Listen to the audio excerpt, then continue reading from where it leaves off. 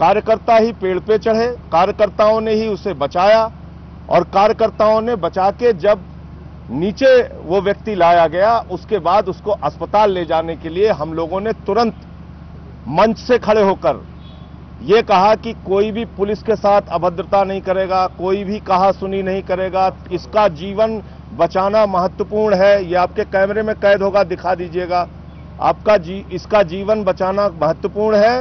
रास्ता दीजिए, इसको अस्पताल जाने दीजिए। अपने कार्यकर्ताओं को हम लोग रोकते रहे। कहा यह जा रहा है कि रैली क्यों नहीं रोक दी गई?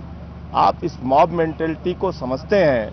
हम अपील वहाँ से खड़े होकर करते रहे कि कार्यकर्ता कोई बदसलूकी पुलिस से ना करे, झगड़ा ना करे, आक्रोश में आके, गुस्से में आके कोई पुलिस के साथ हाथापाई ना हो जाए। दिल्ली के ज्वाइंट कमिश्नर मीना का बयान पढ़ा है। झूठ बोलते हैं वो। आप सब लोगों के सामने मौजूद हैं।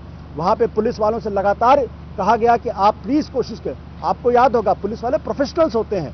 वो ऐसी घटनाओं से निपटने के लिए उनकी ट्रेनिंग होती है। एक भी पुलिस वाला, जबकि दिल्ली के मुख्यमंत्री, डिप्टी सीएम वहाँ मौजूद थे, उनकी उनकी सिक्योरिटी के लिए अलग से सिक्योरिटी का इंतज़ाम होता है। वहाँ एंबुलेंस होती है फायर ब्रिगेड की गाड़ी होती है। एक भी पुलिस वाला उस उस अपने जगह से टस से मस नहीं हुआ। एक भी पुलिस वाला उस पेड़ के पास नहीं गया। एक भी पुलिस वाला ऊपर चढ़कर उसको बचाने की कोशिश नहीं की।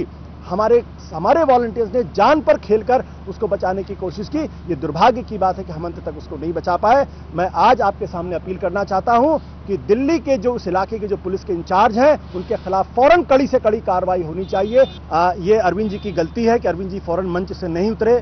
ये अरविंद जी की गलती है फ़ौरन वो पेड़ पे नहीं चढ़े।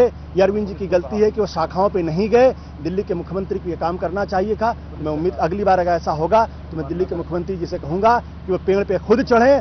खुद पे, उस पर जाके शाखाओं पे जाएँ, उस आदमी को आत्महत्या करने से रोकें।